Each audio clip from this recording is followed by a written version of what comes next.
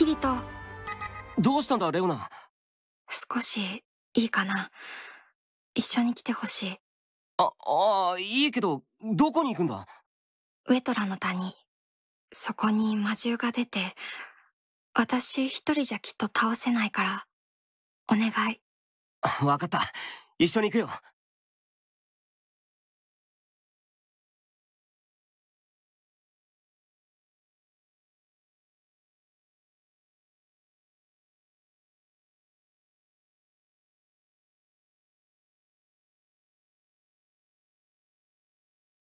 あの魔獣分かった。一緒に倒そう。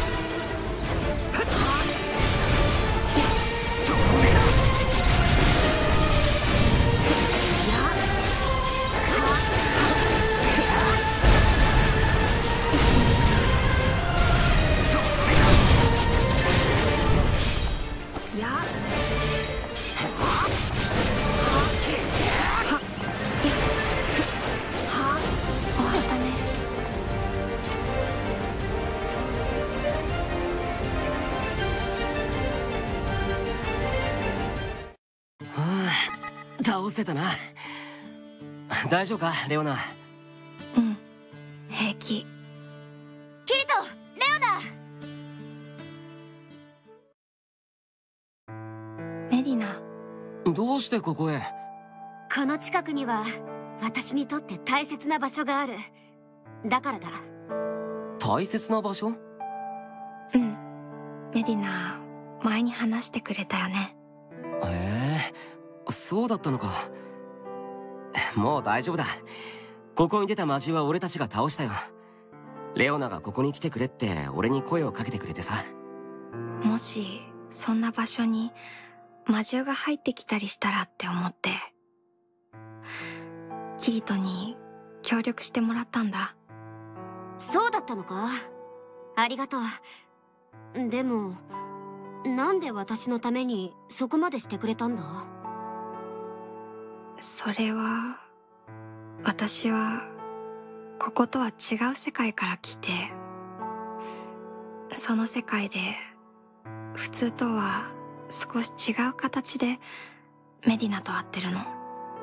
少し違う形？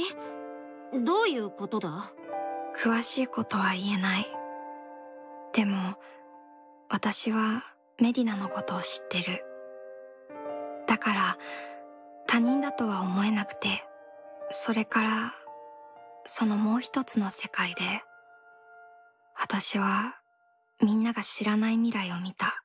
スカーレットにはその結末が歌われてるの。それで本音を言うと歌詞の全てを思い出すのが怖かったんだ。その未来は激しく情熱的。でも深い悲しみにも満ちてたから。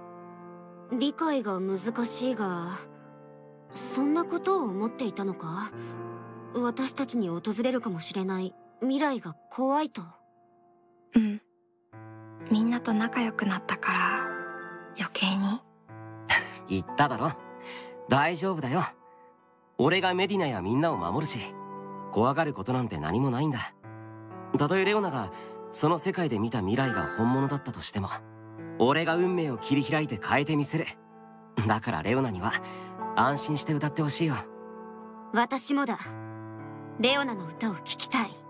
レオナが歌私も光など見えない闇の中でずっと生きてきた。だからこそ多くのことを恐れていた。だがいつしかおせっかいで食い意地の張った誰かのせいなのか。何があろうと恐れず前を向くほかないと気づいたんだ。そして自らが進む道の先には闇だけではなく一筋の光があると。おいおせっかいで食い意地ってそれ誰のことだよ？さあ知らんなだからレオナもどうか恐れないでくれキリトメディナわかった。それじゃあ聞いて。私の歌。そして異国の赤い髪の少女の物語。こぼれゆくスカーレット。形あるものはやがて消えるけどああ一瞬光ってその目の記憶の奥の奥に刻みつくならまだまだ。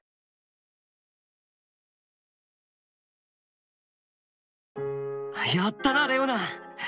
これこそ魂がこもった歌。そう感じたよ。全部歌えた。なぜか不思議と全ての歌詞が浮かんできて。メディナ泣いているのか？泣いてない。ムカつく。ただスカーレットを全て聞くと胸がいっぱいで切なくていろんなことを思い出したんだ父上のことも私がこれまで歩んできた道もこの歌には私が求める全てがあった。私も最後まで歌って分かった。これは全ての人の悲しみと痛みを帯びた情熱の歌。この歌に込められた思い。傷の記憶を歌い続ければ共感した誰かの心を救うこともできるかもしれない。だから私は歌い続ける。この歌に込められた傷と情熱をたくさんの人に届けるために。傷と情熱か。確かにスカーレットからはそれを感じたよありがとう二人とも私これからは恐れずに歌うよ。だってキリとメディナこの世界でただまっすぐに生きるみんなの未来には希望がある。それに最後まであがいてみないと答え合わせがどうなるかはわからないから。レオナそれって一体たった一人この世界に迷い込んで失ったお歌を探し続けてやっと答えを見つけた。見つけられたのは二人のおかげ。ありがとう。ねえ。二人はこれからも私と一緒にいてくれる？もっと私の歌を聴いてほしくて。もちろんに決まっている。だってレオナは私たちの大切な友達なんだからな。あ あこれからもレオナの歌を聴かせてくれ。ありがとう。それじゃあ改めてよろしく。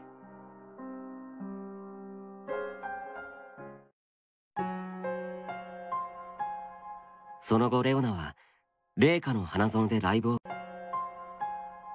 その後レオナは霊下の花園でライブを開催。レオナの傷と悲しみ。そしてその中にある一筋の光を訴えかけるような歌唱に人々は喜び涙を流しライブは成功に終わり俺たちは心から喜んだ。謎めいた異界の歌うたいレオナ。これからも俺たちは仲間として彼女と共に戦っていく。彼女の歌う絶望と希望に照らされながら。